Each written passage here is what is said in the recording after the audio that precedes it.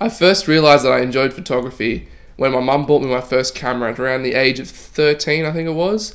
Um, used to go around the backyard, take photos of everything, go to my cousin's house, take no photos of their dog, uh, took it to soccer games and stuff like that.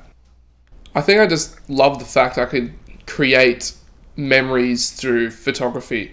Like one still image can paint a thousand words.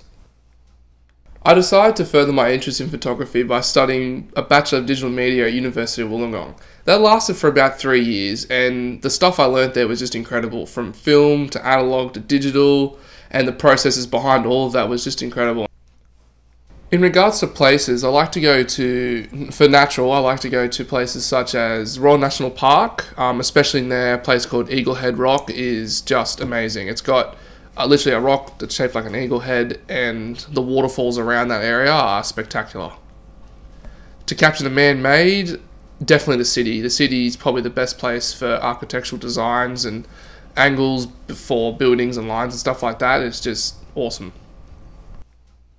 I currently have a business called CJ Harpas. Uh, that is what I use for pretty much all my clients. I can do everything from weddings to photo shoots to videos, music videos, artists, models, virtually anything a client asks, I can I can do for them.